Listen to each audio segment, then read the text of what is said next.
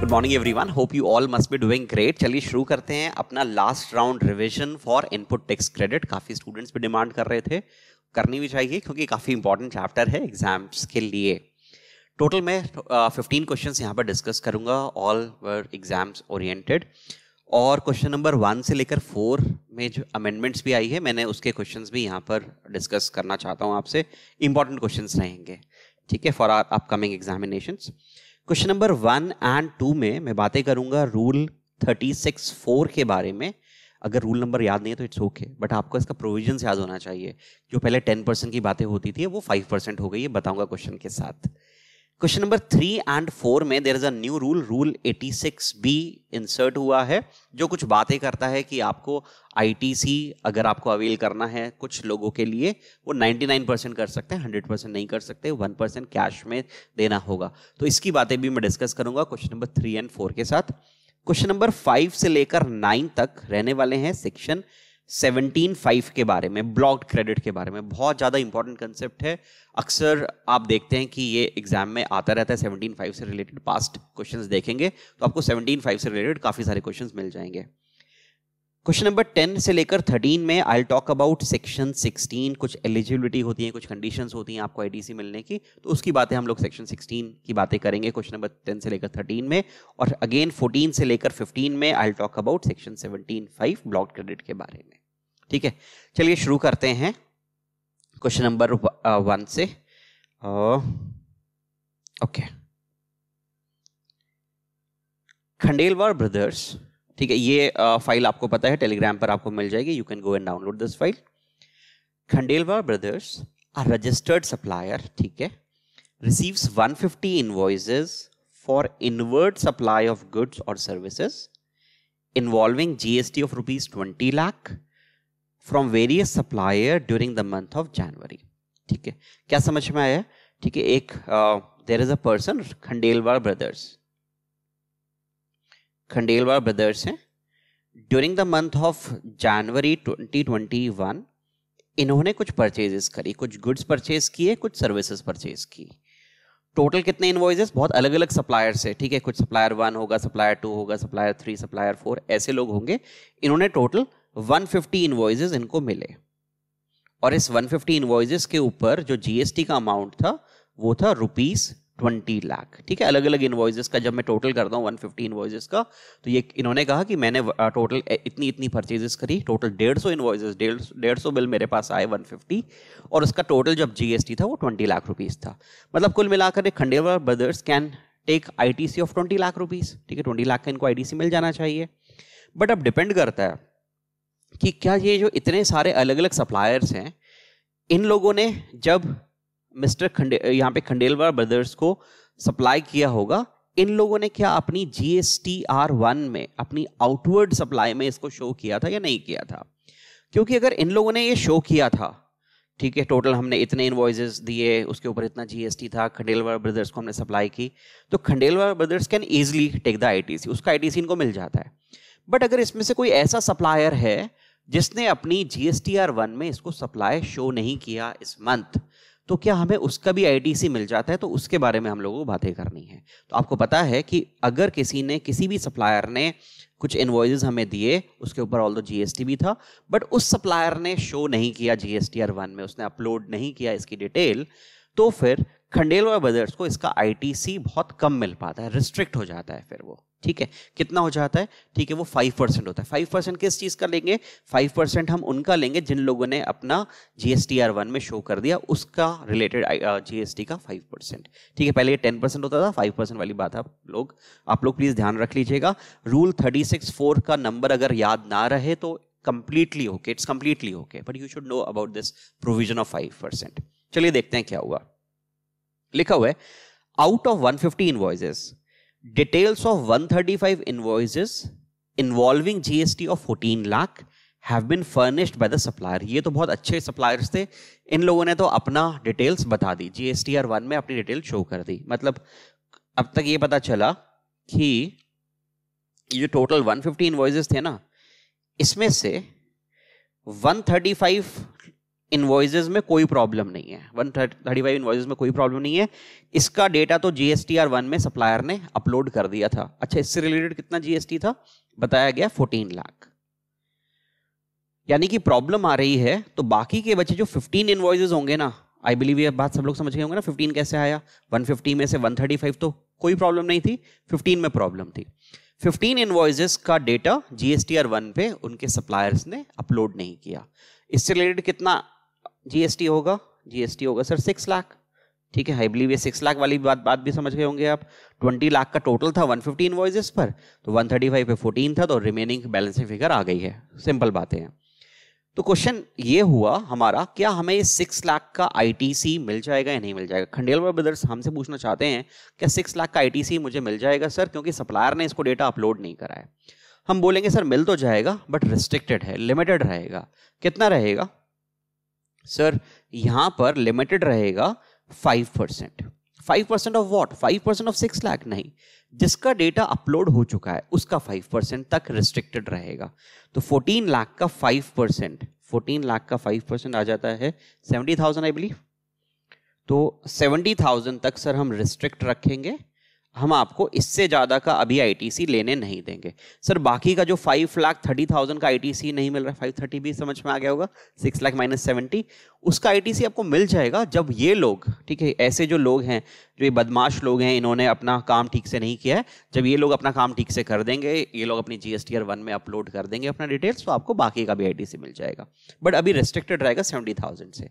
तो प्लीज़ बताइए मुझे इस मंथ कितना आईटीसी मिल पाएगा खंडेलवाल ब्रदर्स को कितना मिल पाएगा?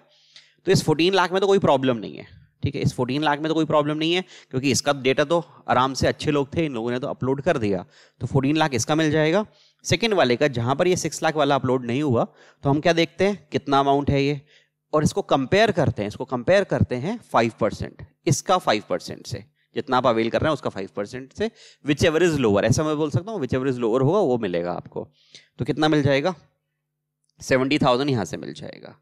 तो सेवेंटी थाउज़ेंड यहाँ से टोटल इस महीने आपको 14.7 लाख का ही आईटीसी मिल पाएगा। तो जब आप अपनी G S T R three B file कर रहे होंगे तो यू विल गेट 14.7 लाख का आईटीसी फॉर खंडेलवाल ब्रदर्स ठीक है, समझ में आ गया? तो प्लीज़ ये फाइव परसेंट वाली बातें याद रखिएगा। लिखा हुआ है कंप्यूट द आईटीसी जितना खंडेलवाल ब्रदर्स को मिल जाएगा तो 14.7 ही मिल पाएगा। इस तरीके से आप शो कर देंगे, देख लीजिएगा, आपको ये फ़ाइल मिल जाएगी टेलीग्राम पर। तो 14 लाख में तो कोई प्रॉब्लम नहीं थी 14 मिल गया। और सिक्स लाख वाले में सिर्फ़ पॉइंट सेवन लाख ही मिला, सत्तर हज़ार तो फोर्टीन पॉइंट सेवन ठीक है? तो एक बार इसके एक एक लाइन के नोट आप दे सकते हैं कि फोर्टीन लाख में तो कोई प्रॉब्लम नहीं थी, इसका तो G S T R one पर अपलोड कर दिया गया था तो इसका पूरा मिल जाता है बट जो बाकी के फिफ्टीन इन्वॉइस थे, उसका रिस्ट्रिक्टेड रहेगा फाइव परसेंट तक, ठीक है? क्वेश्चन नंबर टू में आइए। लिखा हुआ है Johnny sons almost question number one जैसे ही है, मैंने कुछ फिगर्स चेंज करी है समझाने के लिए। अदरवाइज़ बिल्कुल क्वेश्चन नंबर वन जैसा इजी क्वेश्चन है। ठीक है एग्ज़ाम के लिए इंपॉर्टेंट है। Johnny sons a registered supplier receives 150 invoices ठीक है, इन्होंने, इनको भी 150 इनवॉइसेस मिले for inward supply of goods and services जिस पर 20 लाख रुपीस का जीएसटी था। सेम फिगर्स आ रही हैं अभी तक। जनवरी के मंथ की बात थी ये।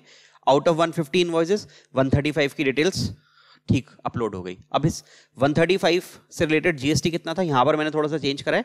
पहले मैंने 16 लिया था, मैंने लिया 19.5 अब देख लीजिएगा। अब क्या हुआ? इसी को चेंज कर दूँ? ओके जो सेकंड क्वेश्चन है, अब ये खंडेलवाल ब्रदर्स नहीं है, वो जॉनी क्या नाम था उसका? जॉनी सन्स ठीक है।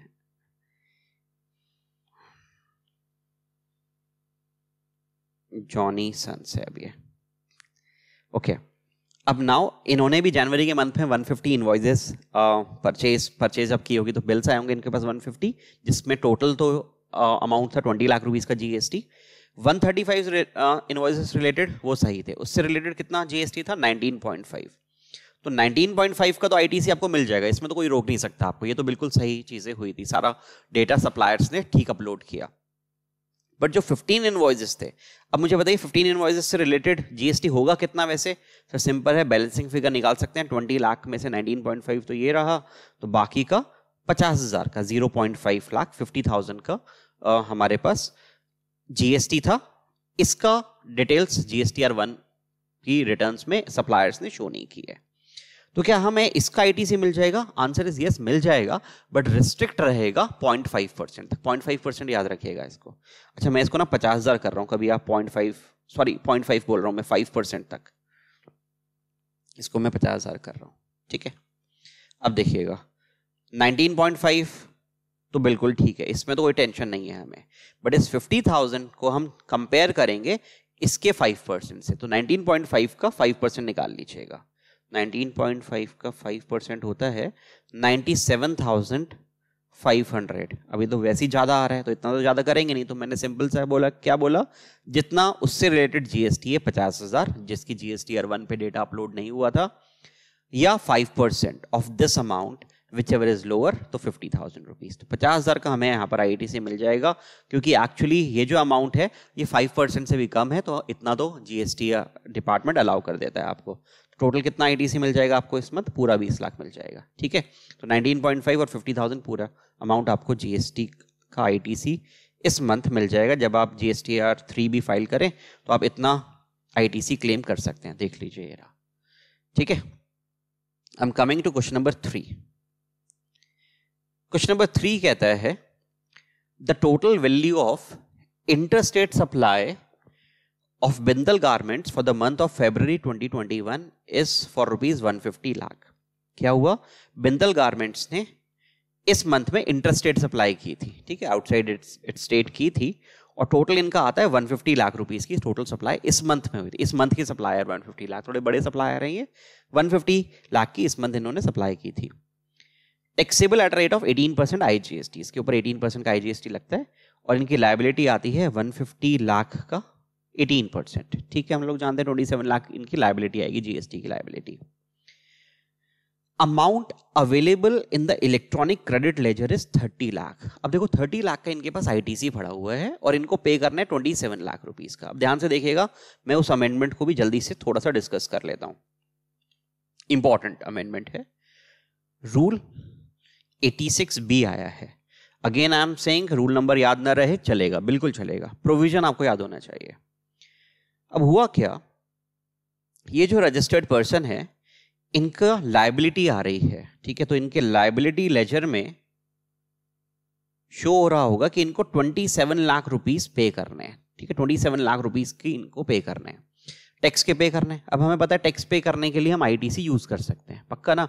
कुछ और अगर पे करना है, ध्यान याद रखिएगा इंटरेस्ट पे करना है लेट फ़ीस पे करनी है, कोई और दूसरा अमाउंट पेनल्टी वगैरह पे करनी है, उसके लिए तो आपको कैश लेजर में ही पैसा डिपॉजिट करने के बाद ही पे करना होता है।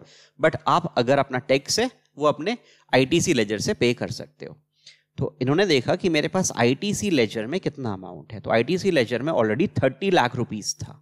ठीक है, एक बार मैं क्वेश्चन को रिपीट करा दूँ आपको? एक बार दोबारा से देख लीजिएगा। The value of interstate supply of Bindal garments for this month is 150 lakh total value थी 150 लाख जिसके ऊपर टैक्स बना था 18 परसेंट यानी कि 27 लाख रुपीस का टैक्स बना। आउटपुट लाइबिलिटी इनकी जीएसटी की लाइबिलिटी 27 लाख की है, और इनके इलेक्ट्रॉनिक क्रेडिट लेजर में 30 लाख रुपीस है। तो जनरली हम लोग क्या जानते थे? इस अमेंडमेंट से पहले हम लोग सिंपल जानते हैं कि ठीक है सर आपके पास ट्वेंटी सेवन लाख की लाइबिलिटी है थर्टी लाख ऑलरेडी आपके पास आई टी सी है, पूरा का पूरा इसी से पे कर दीजिए। हंड्रेड परसेंट आप इसी से पे कर दीजिए। बट अमेंडमेंट आई है, ठीक है स्पेशली लार्ज टैक्स पेयर्स के लिए। अमेंडमेंट आई है रूल 86 बी ने क्या बोला कि जिन लोगों की किसी भी मंथ की सप्लाई 50 लाख रुपीज़ से ज़्यादा की है, अगर आपकी value of supply 50 lakh rupees से ज़्यादा की है ठीक है? और यहाँ पर 50 लाख जब देखना है आपको तो आपको एग्ज़ाम सप्लाई नहीं देखना ज़ीरो रेटेड भी देखना। ज़ीरो रेटेड समझ के एक्सपोर्ट एस वगैरह नहीं देखना है। उसके अलावा, अगर आपकी 50 लाख रुपीज़ से ज़्यादा की सप्लाई है तो आप अपना आईटीसी में, अगर आपके पास आईटीसी में पूरा पैसा है भी तो भी आप उसको सिर्फ़ 99 परसेंट ही यूज़ कर सकते हो पे करने के लिए वन परसेंट आपको कैश में ही पे करना पड़ेगा। वन परसेंट आपको कैश में ही पे करना पड़ेगा। मेनली ये अमेंडमेंट इसलिए आई है क्योंकि काफ़ी ज़्यादा फेक इन्वॉइसिंग होने लगी थी। तो लार्ज टैक्स पेयर को एक हम छोटा सा बर्डन भी दे रहे हैं। देखो, जो जेनविन लोग हैं, उनके ऊपर छोटा सा बर्डन भी आ गया। कैसा बर्डन आ गया? क्योंकि पहले क्या करते थे वो? पूरा अपना 27 लाख रुपीस इस आईटीसी से पे कर देते थे वो। उनको कुछ अलग से कैश डिपॉजिट करने की ज़रूरत नहीं आएगी। बट आज उनको कम से कम वन परसेंट कैश में पे करना पड़ेगा और 99 परसेंट आप अपना आईटीसी यूज़ कर सकते हो। 99 परसेंट से ज़्यादा यूज़ नहीं कर सकते। कंडीशन क्या रहेगी? अगर आपका इस मंथ का जो टेक्सिबल सप्लाई है, वो 50 लाख से एक्सीड करती है। और 50 लाख को जब काउंट करना है तो हमें एग्ज़ाम सप्लाई नहीं देखना है, हमें ज़ीरो रेटेड भी नहीं देखना है। एक्सपोर्ट और एस भी नहीं देखना है। ठीक है नॉर्मल सप्लाई देखना है अपनी। क्लियर हो गया? मेनली हम नज़र रखना चाहते हैं, जो लोग फेक इन्वॉइस वगैरह इशू कर रहे थे, काफ़ी ज़्यादा केसेस ऐसे बढ़ रहे थे, जहाँ पर फेक इन्वॉइस लेकर अपना लोग आईटीसी ज़्यादा दिखाते थे तो हम उनके ऊपर नज़र रखने के लिए यहाँ पर टैक्स इवेड जन से बचने के लिए ये रूल आया है ठीक है? ऑल कुछ लोग इस रूल से आ, खुश नहीं हैं कुछ जेनुइन लोग खुश नहीं हैं और वो कहते हैं कि अब हमें कैश में पे करना पड़ेगा बट यू अंडरस्टैंड कि आ, अगर मैं देखता हूँ to the suppliers at large to for the economy at large के बारे में ठीक है हम उनके वेलफेयर के लिए देखते हैं तो उनके लिए तो ठीक है। ठीक है? तो क्या अब क्या करना पड़ेगा? अब प्लीज़ मुझे बताइए क्या इस मंथ का इनका टर्नओवर 50 लाख से ऊपर का था? तो लिखा होता हाँ था, कितना था? 150 लाख रुपीस तो 150 लाख रुपीस था तो इनके पास 30 लाख रुपीस आईटीसी का बैलेंस है तो क्या ये can the entire liability be discharge using the balance of credit ledger क्या पूरा का पूरा क्रेडिट लेजर यूज़ हो सकता है? द आंसर इज़ नो अब इनके ऊपर रूल 86 भी लग जाएगा, जो कहेगा कि आप 27 लाख का 99 परसेंट तो आप आईटीसी लेजर के थ्रू पे कर सकते हो। तो कितना आया हमारे पास? 27 लाख का 99 percent twenty six lakh seventy three thousand तो आप आईटीसी लेजर के थ्रू पे कर सकते हो बट बाकी का वन परसेंट, कितना one percent? Twenty seven thousand rupees आपको कैश लेजर के थ्रू पे करना पड़ेगा। ये आपको कैश लेजर के थ्रू पे करना पड़ेगा। यानी कि यहाँ पर इस व्यक्ति को पहले one percent, twenty seven thousand rupees cash ledger में डिपॉजिट कराने पड़ेंगे और फिर उसके थ्रू ही पे हो सकता है। ठीक है? सब लोग समझ गए? 86 बी की अमेंडमेंट हाँ इसकी कुछ एक्सेप्शन भी हैं। एक्सेप्शन क्या हुआ? अगर आपके मंथ का turnover eighty sorry fifty lakh rupees से कम हो तो आपके ऊपर 86 भी लगेगा नहीं। ठीक बात है वो तो। दूसरी बात क्या है? कुछ एक्सेप्शंस हैं कि अगर गवर्नमेंट यहाँ पर किसी को नोटिफाई करती है ऐसे लोगों को, उनके ऊपर भी ऐसी कोई वन परसेंट वाली बातें नहीं लगेंगी उनको हंड्रेड परसेंट अपना आईडीसी यूज़ कर सकते हैं। दूसरा ये बोला कि जो लोग हमें लगता है कि ट्रांसपेरेंट है, ये कैसे पता चलेगा? तो यहाँ पर कुछ पैरामीटर्स बना दिए गए हैं कि अगर आप एक इंडिविजुअल असेसी हैं सोल प्रोप्राइटर हैं, ठीक है, या फिर अगर आप एक पार्टनरशिप फर्म है, या मैन, या एक कंपनी है तो कम से कम आपके दो पार्टनर्स या दो मैनेजिंग डायरेक्टर्स का इनकम टैक्स जो पे हुआ हो, वो पिछले साल, पिछले दो सालों का एक लाख रुपए से ज़्यादा का पे हुआ हो, या फिर कुछ कंडीशंस थी कि इन केस अगर आपने लास्ट ईयर अपना रिफंड लिया है वन लाख रुपीज़ से ज़्यादा का तो आपके ऊपर ये कंडीशन नहीं लग पाएँगी।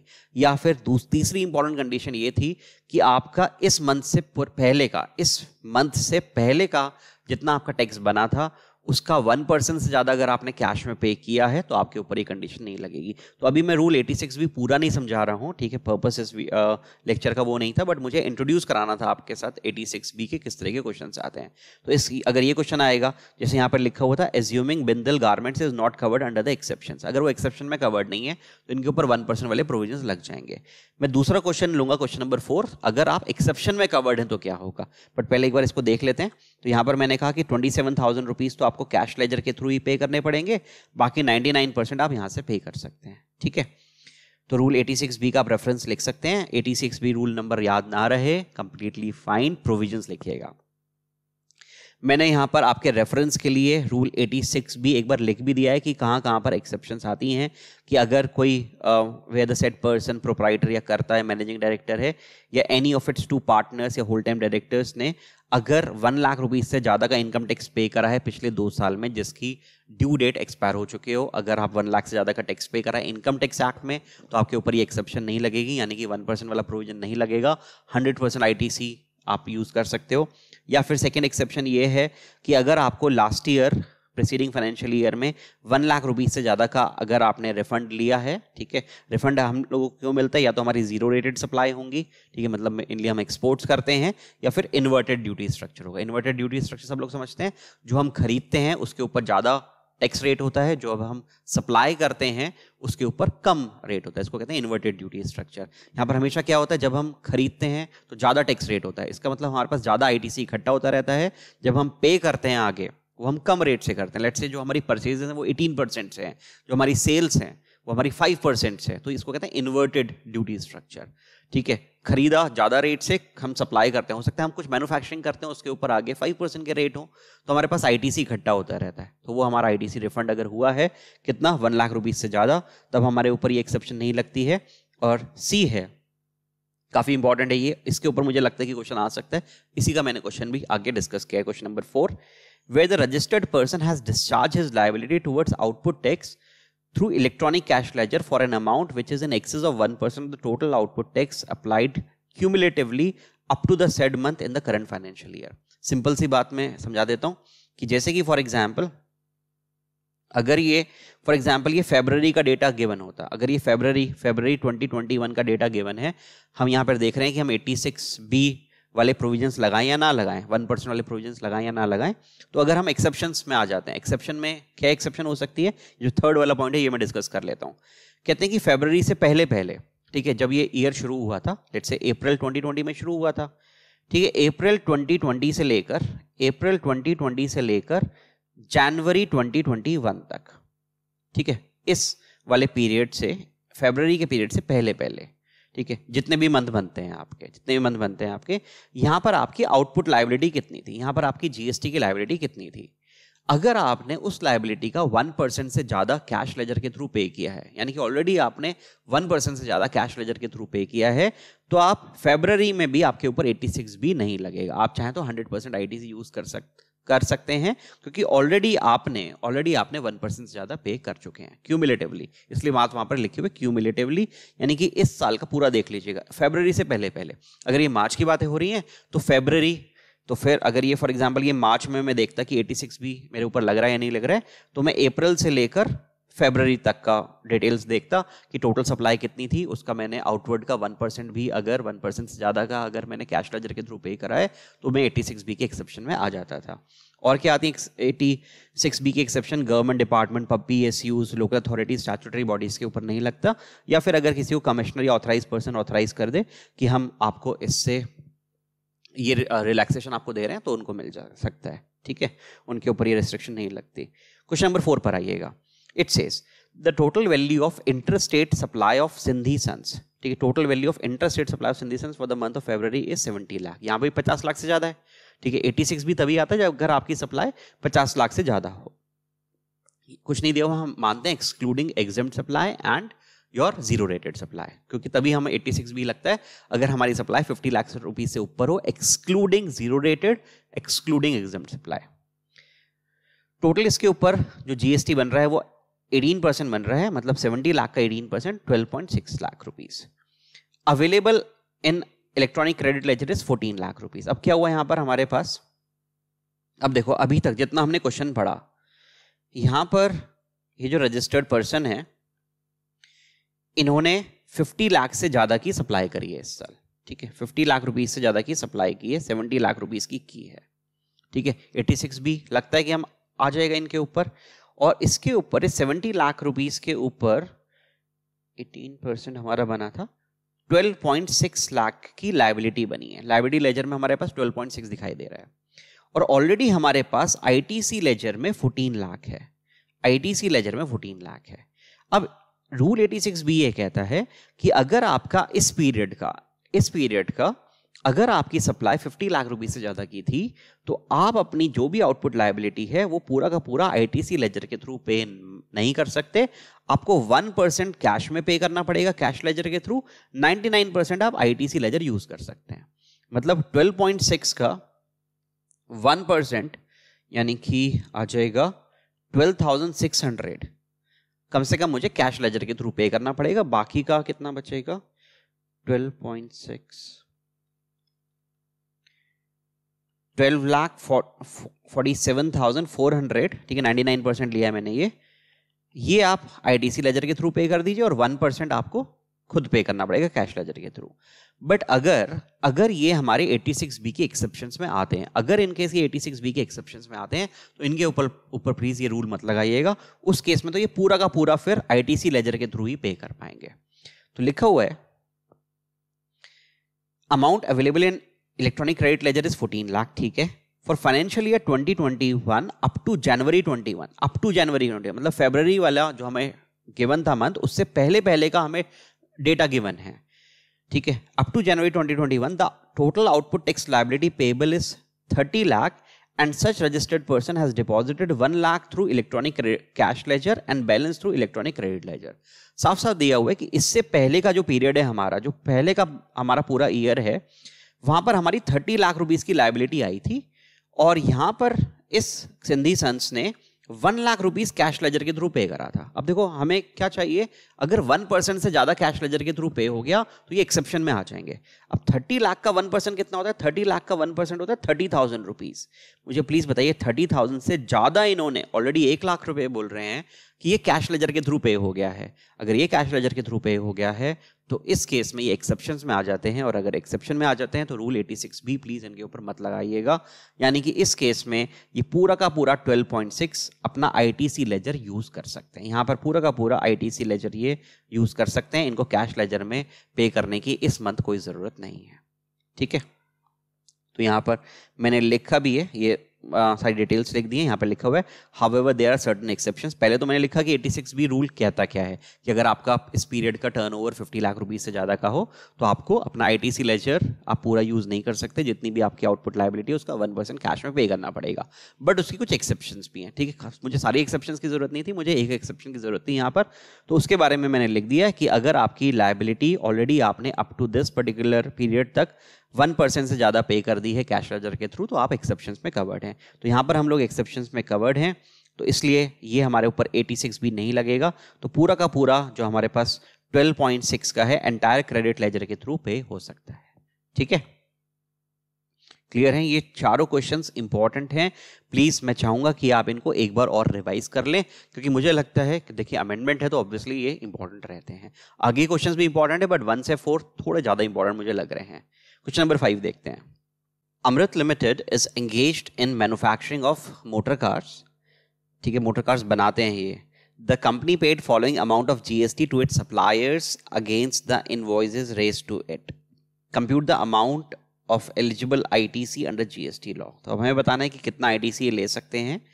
General insurance taken on cars manufactured by Amrit limited one crore rupees तो प्लीज़ मुझे बताइए कि इसका आईटीसी ले सकते हैं? सर मोटर कार के ऊपर तो आईटीसी ले नहीं सकते, उसके ऊपर जनरल इंश्योरेंस भी अलाउड नहीं है। अरे प्लीज़ ध्यान दीजिएगा। अगर आपका बिज़नेस कैसा है now this person is manufacturing cars तो अगर ये कार्स खरीदता है तो उसका भी आईटीसी ले सकता है, क्योंकि ये आगे कार्स ही सप्लाई करेगा he is in to same line of business और अगर ये अपनी कार्स के ऊपर इंश्योरेंस भी लेते हैं, जिनको ये मैन्युफैक्चरिंग कर रहे हैं तो again it is an allowable ITC तो इसका आईटीसी मिल जाएगा। दूसरा है buses purchase for transportation of employees अब हमने एम्प्लॉयज़ के ट्रांसपोर्टेशन जो हमारे एम्प्लॉयज़ हैं, उनके ट्रांसपोर्टेशन के लिए अगर हमने कोई मोटर व्हीकल्स वगैरह परचेज करा है तो उसका आईटीसी नहीं मिलता है। अगर उसकी seating capacity including driver up to thirteen होती है। अगर थर्टीन से ज़्यादा होगी तो आईटीसी मिल जाएगा। तो यहाँ पर सेटिंग कैपेसिटी थी ट्वेंटी थ्री तो इसका भी आईटीसी मिल जाएगा। तो ट्वेंटी फाइव लाख का भी आईटीसी मिल जाएगा। Life and health insurance for employees under statutory obligations अब बिकॉज़ यहाँ पे स्टैचुटरी ऑब्लिगेशन आ गया, इसलिए आईटी से मिल जाता। अदरवाइज़ अगर सिर्फ़ लिखा होता life and health insurance of employees और ये स्टैचुटरी ऑब्लिगेशन नहीं होता तो इसका आईटीसी नहीं मिलता। उस केस में तो नहीं मिलता बट इस केस में मिल जाएगा because it is now a statutory obligation outdoor catering in Diwali mela organise for employees food वगैरह का केटरिंग वगैरह का कोई आईटीसी नहीं मिलता। सेक्शन सेवनटीन फाइव में ब्लॉकड आईटीसी होता है तो इसका आईटीसी नहीं मिलेगा। तो हमें वन करोड़ का ट्वेंटी फाइव लाख का और सिक्स लाख का आईटीसी मिल जाएगा। ठीक है, ये वैल्यू नहीं है, ये जीएसटी का अमाउंट है तो इसका आईटीसी हमें मिल जाएगा। This way you can show your answer ठीक है, बता दीजिएगा कि फ़र्स्ट हमने देखा जनरल इंश्योरेंस का तो उसके बारे में लिख दीजिएगा। ठीक है, ये हमारा एलिजिबल इनपुट है एलिजिबल इनपुट सर्विसेज़ है बिकॉज़ हम सेम लाइन ऑफ़ बिज़नेस में हैं। ठीक है तो इन सब के बारे में एक एक लाइन आपको लिखनी पड़ेगी, और एलिजिबल इनपुट आपके पास आ गया है one crore plus twenty five lakh plus six lakh one thirty one question number six पर आइएगा। मिस्टर सत्यम अवेल्स, इस तरह के क्वेश्चन हमें अक्सर मिल जाते हैं, जैसे हमने क्वेश्चन नंबर फाइव किया, इस तरह के क्वेश्चन हमें अक्सर मिल जाते हैं अपने एग्ज़ाम्स में। Mister Satyam avail services of mister Amit a chartered accountant as under अब देखिए, सत्यम ने क्या किया है? इन्होंने सर्विसेज़ ली एक चार्टर्ड अकाउंटेंट की। अगर ये अपने बिज़नेस से रिलेटेड सर्विसेज़ लेते हैं फॉर एग्जांपल अगर इन्होंने ऑडिट कराया है या कोई भी कंसल्टेंसी वगैरह सर्विसेज़ ली है बुक कीपिंग सर्विसेज़ ली है, ठीक है, अपने सीए से या सीएमए से तो इनको हम आईटीसी दे देंगे। बट अगर इसने कोई किसी भी पर्सनल काम के लिए जो which is not related to his business उसकी सर्विसेज़ ली है तो उसका आईटीसी नहीं मिलेगा। तो यहाँ पर audit of financial accounts I T C fifty five lakh rupees की सर्विसेज़ ली है। Tax audit of annual filing ten thousand इसका मिल जाएगा। Income tax filing of mister Satyam's wife Satyam's wife personal कामों के लिए तो नहीं मिलेगा। This is for non business purpose इसके यहाँ पर तो नहीं मिलेगा बट इन दोनों के लिए मिल जाएगा। अच्छा प्लीज़ मुझे मुझे बताइए, ये क्या अमाउंट ऑफ़ जीएसटी है या इतनी सर्विसेज़ ली है? इतनी सर्विसेज़ ली है। आगे लिखा हुआ है all the above amounts are exclusive of taxes कुछ स्टूडेंट्स क्या गलती करेंगे, वो बोलेंगे सर इन दोनों का आईटीसी मिल जाएगा मतलब 55,000 और 10,000 का आईटीसी मिल जाएगा 65,000 का आईटीसी है। इन दोनों का मिल तो जाएगा बट प्लीज़ ध्यान दीजिएगा दीज आर वैल्यूज़ ये जीएसटी का अमाउंट नहीं है इसका जीएसटी का अमाउंट निकालिए। 55,000 के ऊपर जीएसटी का अमाउंट कितना होता है? 10,000 के ऊपर जीएसटी का अमाउंट कितना होता है? तो लिखा हुआ है कि आ, इस ये सब एक्सक्लूसिव ऑफ़ टैक्सेस है और जीएसटी का अमाउंट है एटीन परसेंट का। तो 55,000 का 18 परसेंट टेन का 18 परसेंट आपका आईटीसी मिल जाएगा। The accountant of Mr. Satyam has booked the entire expense 70,000 plus GST in the books of accounts. Mr. Satyam is eligible to take ITC credit off. तो इसका पूरा का उन्होंने 55, 10 और 5,000 के ऊपर जितना भी जितना भी आईटीसी बनता है उतना पूरा ले ले सकते हैं क्या द आंसर इज़ नो इसके ऊपर नहीं ले सकते इन दोनों के ऊपर ले सकते हैं तो प्लीज़ इसका 18 परसेंट इसका 18 परसेंट निकाल लीजिएगा उतना आईटीसी हमें मिल जाएगा तो इस तरीके से आप शो कर सकते हैं यहाँ पर ठीक है ऑडिट ऑफ़ फाइनेंशियल अकाउंट्स का एलिजिबल इनपुट सर्विसेज़ है यूज़ फॉर बिज़नेस पर्पज 55,000 का अमाउंट था उसका जीएसटी बनता है 9,900 इसका मिल जाएगा। 10,000 के ऊपर 18 परसेंट एटीन मिलता है इसका मिल जाएगा। बट 5,000 के ऊपर जो जीएसटी है उसका आईटीसी नहीं मिल पाएगा। तो 11,700 इज़ द एलिजिबल आईटीसी ठीक है? Question number seven advice regarding availability of ITC under CGST Act 2017 in the following independent cases. तो हमें अलग अलग केसेस दिए गए हैं फॉलोइंग इंडिपेंडेंट केसेस अलग अलग केसेस दिए गए हैं, बताना है क्या हम इसके ऊपर आईटीसी ले पाएँगे या नहीं ले पाएँगे। समझ में आ रहा ना सारा? Lion company limited purchase a mini bus having seating capacity of 16 percent सोलह लोगों की कैपेसिटी अगर 13 होती 13 या उससे कम होती तो हम मना कर देते। कम से कम 14 चाहिए 14 15 16 जितना मतलब 14 एंड प्लस हो तो अब मिल जाता है तो यहाँ पर 16 लोगों के लिए है ऑल सिर्फ़ ट्रांसपोर्टेशन ऑफ़ एम्प्लॉयज़ के लिए आईटीसी मिल जाएगा। तो हम 13 वाली बातें प्लीज़ बता दीजिएगा वहाँ पर। इंक्लूडिंग ड्राइवर 13 है। इंक्लूडिंग ड्राइवर 13 है तो नहीं मिलेगा। 13 से जैसे ज़्यादा हुआ, मिल जाएगा। सेकेंड है general steels company limited sorry Jindal steels limited a manufacturing company purchase two trucks इन्होंने ट्रक्स खरीदे किस काम के लिए? ट्रांसपोर्टेशन ऑफ़ फिनिश गुड्स हमें पता है गुड्स के ट्रांसपोर्टेशन के लिए अगर आपको मोटर व्हीकल्स खरीदते हैं तो आईटीसी मिल जाता है। तो यहाँ पर भी इनका मिल जाएगा बिकॉज़ ये गुड्स की सप्लाई के लिए यहाँ पर कुछ हम सिटिंग कैपेसिटी वगैरह नहीं देखते, वैसे भी ये पैसेंजर व्हीकल्स नहीं है they are goods transport vehicle इसका तो मिल जाता है। Raja motors dealing in luxury cars in Preet Vihar Delhi purchase five cars for sale to customers अब जनरली हम कार के ऊपर आईटीसी नहीं देते हैं बट यहाँ पर हमारा देखिए बिज़नेस क्या है। बिज़नेस क्या है? हम सिमिलर लाइन ऑफ़ बिज़नेस में हैं। हम ऐसी चीज़ें सप्लाई करते हैं आगे तो इस केस में तो राजा मोटर्स को इस पाँच गाड़ियों के ऊपर आईटीसी मिल जाएगा। Black design private limited avails outdoor catering services to run canteen in its factory the outdoor catering का हमने देखा नहीं मिलेगा बट आगे लिखा हुआ है कि फैक्ट्रीज एक्ट की ये स्टैचुटरी ऑब्लिगेशन है। तो अगर उसकी स्टैचुटरी ऑब्लिगेशन है कि हमने कैंटीन सेटअप करनी पड़ेगी तो इस केस में तो हमें इस चीज़ का भी मिल जाएगा। तो मेरे ख्याल से यहाँ पर तो हमें सभी चीज़ों का आईडीसी मिल रहा है। ठीक है? You can read the explanation I believe ये बातें समझ में आ गई हैं आपको। क्वेश्चन नंबर एट में आइएगा। Samsung limited of Madurai Karnataka registered supplier is engage in manufacturing taxable goods तो सैमसंग लिमिटेड टेक्सिबल गुड्स बनाते हैं।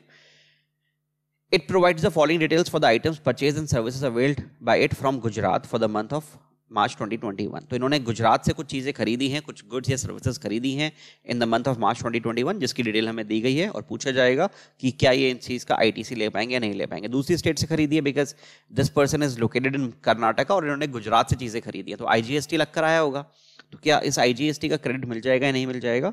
तो फ़र्स्ट है motor vehicles purchase for employees to be use for personal as well as for business purpose नहीं मिलेगा। Motor vehicles का नहीं मिलता। ठीक है सेटिंग कैपेसिटी नहीं दी गई, हमेशा हम लोग मानेंगे गाड़ी वगैरह खरीदी गई होंगी, जिसकी सेटिंग कैपेसिटी थर्टीन या उससे कम होगी, अब तो नहीं मिलेगा, इसका नहीं मिलेगा। मोटर व्हीकल्स अच्छा ये वैल्यू है या जीएसटी का अमाउंट है? सर जीएसटी का अमाउंट है, ऊपर लिखा हुआ है साफ़ साफ़ आई जीएसटी तो 150 तो खैर नहीं मिलेगा। Motor vehicles purchase for transportation of goods goods के लिए हम लोग जानते हैं, अभी भी हमने डिस्कस किया था तो टू लाख मिल जाएगा amount food items for consumption of employees These items were supplied free of cost to the employees in lieu of services rendered by them to the manufacturer in the course of employment. अब देखिए food items है। ठीक है, हम लोग जानते हैं catering का फ़ूड आइटम्स का कैंटीन वगैरह का कोई आईटीसी नहीं मिलता है। अगर वो स्टैचुटरी ऑब्लिगेशन होती है, फिर अलग बात है, फिर मिल जाता है। बट यहाँ पर कोई भी एक स्टैचुटरी ऑब्लिगेशन वगैरह नहीं थी, इसका नहीं मिलेगा। टू थाउज़ेंड का नहीं मिलेगा। Rent cab facility generally rent of cab का भी नहीं मिलता है बट अगेन यहाँ पर लिखा हुआ है स्टैचुटरी ऑब्लिगेशन इसलिए इसका भी मिल जाएगा। तो टू लाख मिलेगा और थर्टी सिक्स थाउज़ेंड का आईटीसी हमें मिल जाएगा, बाकी वन फिफ्टी और टू थाउज़ेंड तो नहीं मिलने वाला है। ठीक है? तो टू लाख और thirty six thousand two thirty six का आईटीसी मिल जाएगा। एक बार आप प्रेजेंटेशन देख लीजिएगा। ठीक है? इसके नोट भी, इतने बड़े बड़े नोट नहीं देने बट फिर भी आप एक एक दो दो लाइन्स के नोट्स दे दीजिएगा कि आपने आईटीसी क्यों दिया या क्यों नहीं दिया है।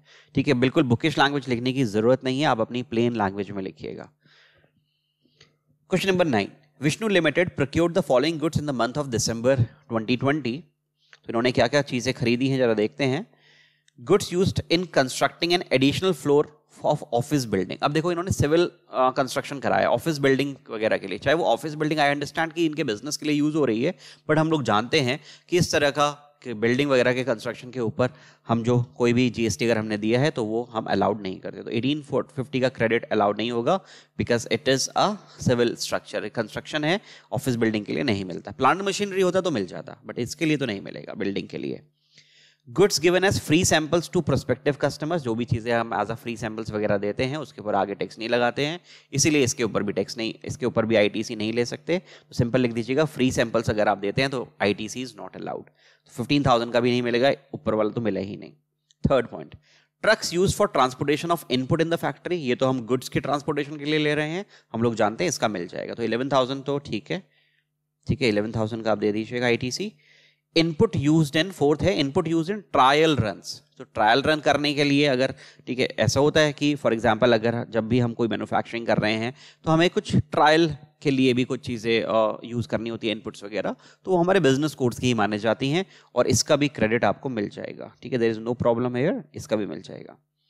Confectionery items for consumption of employees working in the factory हम जानते नहीं मिलेगा इसका, ठीक है? हम लोग डिस्कस भी कर चुके हैं अभी. सीमेंट अब सीमेंट का हम लोग जानते हैं बिल्डिंग बनवाने के लिए लिया होगा, नहीं मिलेगा। बट आगे क्या लिखा हुआ है? पूरा पढ़ लीजिएगा। Cement use for making foundation and structure support to plant and machinery अगर आप प्लांट एंड मशीनरी के ऊपर आईटीसी मिल जाता है, अगर प्लांट एंड मशीनरी की अगर आप फाउंडेशन भी बनवा रहे हैं, उसका भी आईटीसी मिल जाता है। तो प्लांट एंड मशीनरी के लिए तो इट्स अलाउड है।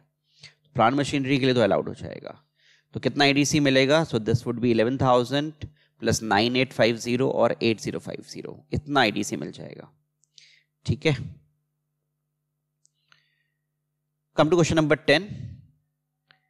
Mr. Taneja, a registered person, entered into a contract with Mr. Gupta, software engineer, for design of a software तो तनेजा जी को सॉफ्टवेयर बनवाना है तो गुप्ता जी ने कहा कि ठीक है हम आपको सॉफ्टवेयर सप्लाई करेंगे as on fifteen five twenty twenty one mister Taneja paid in advance of eighty five thousand towards the supply of services to mister Gupta तो तनेजा ने एटी फाइव थाउज़ेंड रुपीज़ का गुप्ता जी को एडवांस दे दिया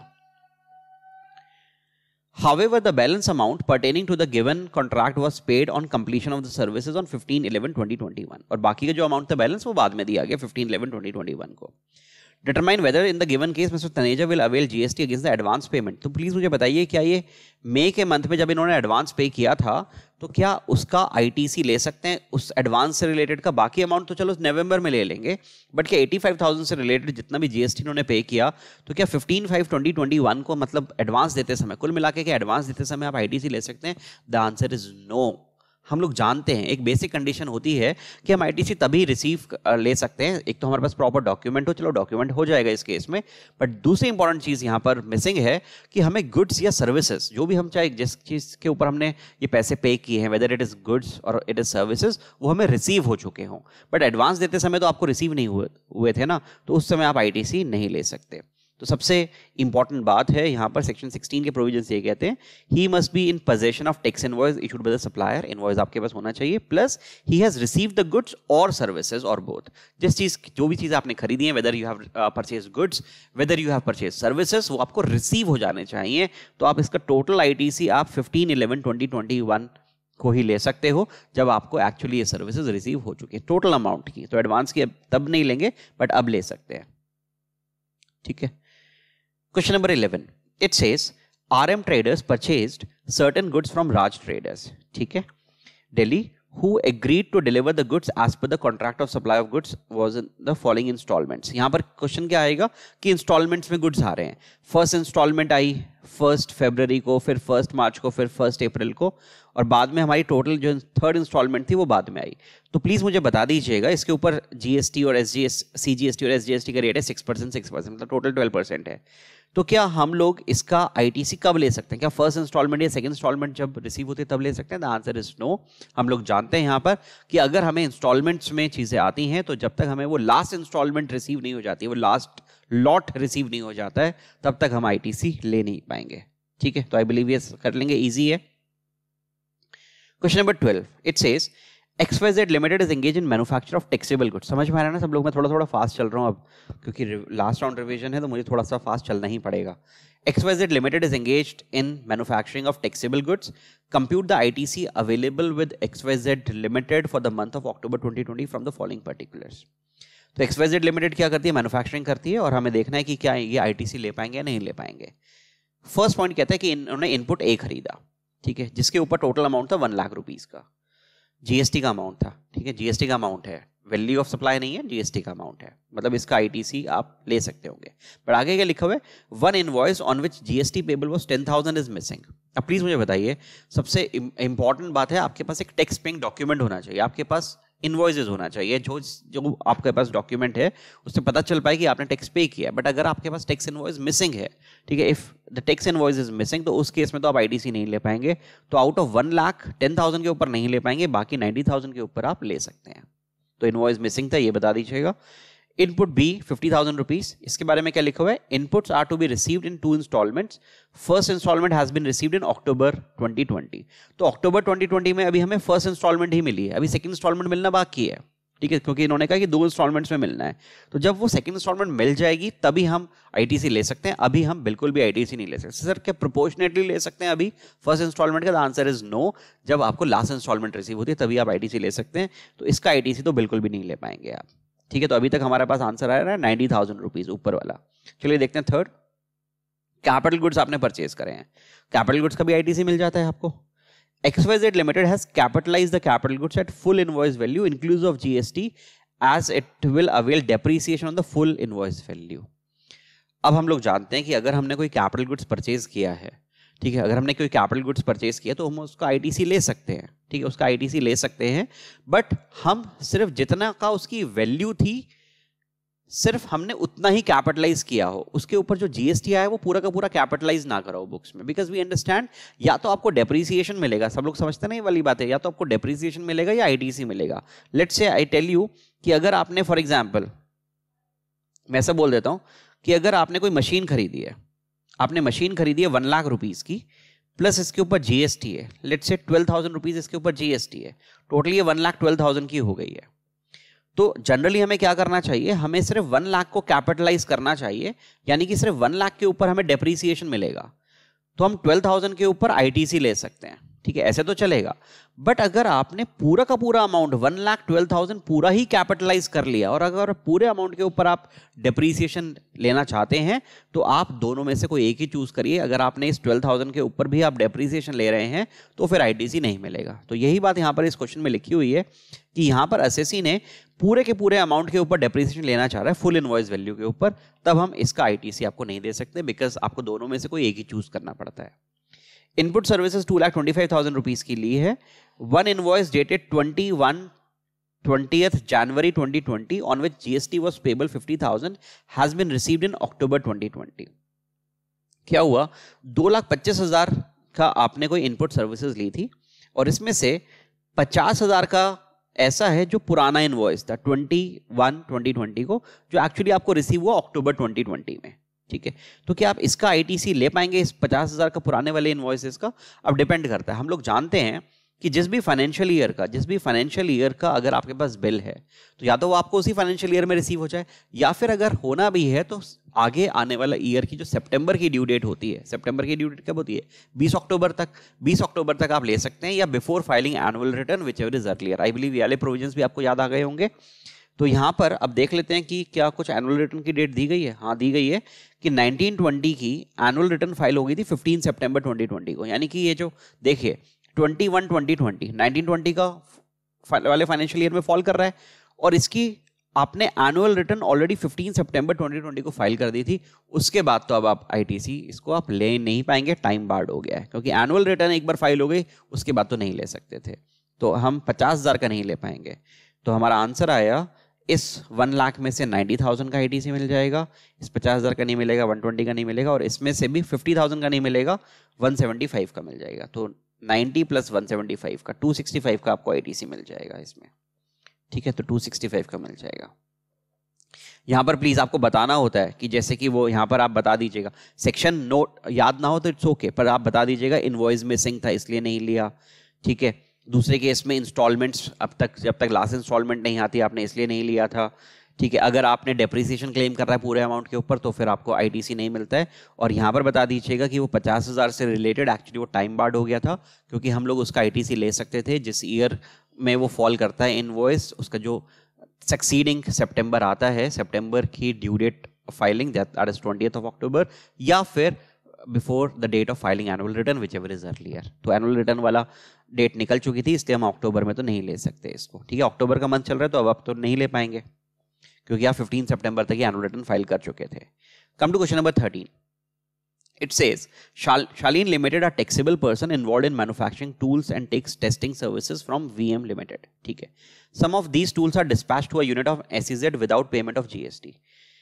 As these were supplies are not taxable. The finance per, uh, personnel of Shalin Limited want to know whether they need to carry out reversal of ITC on the testing agency services to the extent attributable to the SEZ supplies. Your comment required. Simple ये पूछा है कि हमने कुछ चीज़ें supply करी हैं SEZ के लिए तो क्या हमें क्या उसका आईटीसी नहीं मिलना चाहिए द आंसर इज़ yes. आपको मिल जाना चाहिए ठीक है? आपको मिल जाना चाहिए, क्योंकि वी अंडरस्टैंड कि अगर आप इसको एक्सपोर्ट कर रहे हो, या फिर अगर ये ज़ीरो रेटेड सप्लाईज है, अगर आप एस को भी सप्लाई करते हो तो भी हमें आई मिल जाता है, कोई प्रॉब्लम नहीं है। ठीक है जनरली हम लोग क्या जानते हैं, जो चीज़ टैक्सेबल है, जिसके ऊपर हम आगे टैक्स देंगे, उस, अगर हमने उससे रिलेटेड कोई चीज़ें खरीदी, उसका आईटीसी मिल जाता है। बट वी ऑल्सो अंडरस्टैंड कि अगर ज़ीरो रेटेड सप्लाई भी है, अगर ये एक्सपोर्ट है, या डीम्ड एक्सपोर्ट है तो उस केस में भी आपको आईटीसी मिल जाएगा। ठीक है? तो ज़ीरो रेटेड सप्लाई है यहाँ पर तो आईटीसी मिल जाएगा। Question number 14. It says, Lux Soap Factory, a registered supplier is engaged in manufacturing beauty soaps for forever fair. ये beauty soaps बनाते हैं मुंबई में it has provided the following information pertaining to purchase made या services available in the month of March 2021. देखिए क्या क्या दिया गया सोप मेकिंग मशीन ठीक है फिफ्टी थाउज़ेंड रुपीज़ की motor car motor vehicles for transportation of inputs fifty thousand soap making machine का आईटीसी मिल जाएगा ठीक है नॉर्मल मशीन है। Motor car for transportation of inputs इसका भी मिल जाएगा, कोई प्रॉब्लम नहीं है। Membership of fit and fine health and fitness centre for its employees इसका नहीं मिलेगा, ठीक है। मेंबरशिप वगैरह अगर आपने लिए किसी जिम की क्लब वगैरह की, उसका आईटीसी नहीं मिलता है। Input purchase but stolen from factory ठीक है। अगर आपके कोई इनपुट आपने परचेज करे थे, मिल जाता बट वो फैक्ट्री से अगर चोरी वगैरह हो गए हैं डिस्ट्रॉय हो गए हैं डैमेज हो गए तो उसका भी आईटीसी नहीं मिल पाएगा। You are required to compute the ITC available with Luxo factory for the month of March, and assuming that all the other conditions for availing ITC wherever applicable have been fulfilled. मतलब बाकी सब conditions fulfill हैं तो बताना है कि ITC मिल जाएगा तो इस 50,000 का मिल जाएगा 70,000 का मिल जाएगा बट इन दोनों का ITC नहीं मिल पाएगा ठीक है क्वेश्चन नंबर 15 कहता है कहता है कि based on the following information of July 2020 determine the ITC available for use in current year as per C G S T act two seventeen ठीक है? Pollution control equipment pollution control equipment है, मिल जाएगा I T C ठीक है? Twenty five thousand का GST pay करा है, बिल्कुल मिल जाएगा it's a kind of machine spares for pollution control equipment बिल्कुल मिल जाएगा। इसके अगर आपने स्पेयर पार्ट्स वगैरह खरीदे तो कोई प्रॉब्लम नहीं है। मशीन्स के लिए कोई प्रॉब्लम नहीं होती, ठीक है? आईटीसी मिल जाएगा। Equipment use in office within factory बिल्कुल मिल जाएगा, ठीक है? इक्विपमेंट्स है, ठीक है? प्लांट मशीनरी है। तो दिस दिस दिस सब कुछ अलाउड है। Cement use for construction of storage tank नहीं। ठीक है सिविल स्ट्रक्चर के लिए तो नहीं मिलेगा। टेन थाउज़ेंड का आईटीसी मत दीजिएगा। Paints use for painting machinery use machines के ऊपर अगर आपने कोई भी खर्चा किया है अलाउड है पेंट किया है सिक्स थाउज़ेंड मिल जाएगा। पैकिंग मटेरियल अगेन मिल जाएगा। लुब्रिकेटिंग ऑयल देखो पेट्रोल डीजल वगैरह नहीं है, उसके ऊपर तो जीएसटी भी नहीं होता। बट लुब्रिकेटिंग ऑयल्स का अगेन आईटीसी मिल जाएगा। ठीक है this is just a lubricating oil तो दिस का तो मिल जाएगा। High speed diesel oil petrol वगैरह नहीं मिलेगा। वैसे भी उसके ऊपर तो जीएसटी होता नहीं है। यहाँ पर एक्साइज ड्यूटी वगैरह थी तो इसके ऊपर तो नहीं मिलेगा। तो बाकी हमने देखा कि पॉल्यूशन कंट्रोल इक्विपमेंट ठीक है स्पेयर्स ठीक है ऑफ़ इक्विपमेंट्स है, वो ठीक है। सीमेंट का नहीं मिलेगा पेंट्स का मिल जाएगा पैकिंग मटेरियल का मिल जाएगा लुब्रिकेटिंग ऑयल का मिल जाएगा। तो इसका आप आईटीसी ले सकते हैं। तो आई बिलीव ये सारी चीज़ें आप कर लेंगे, ठीक है। इंपॉर्टेंट चैप्टर होता है आईटीसी और ये क्वेश्चंस प्लीज़ ध्यान दीजिएगा। स्पेसिफिकली जो मेरे शुरू के चार क्वेश्चंस थे, जो अमेंडमेंट रिलेटेड थे, उसके ऊपर थोड़ा सा ज़्यादा ध्यान दे दीजिएगा आप लोग। चलिए मिलते हैं नेक्स्ट टॉपिक के साथ। तब तक के लिए thank you so much bye take care and all the best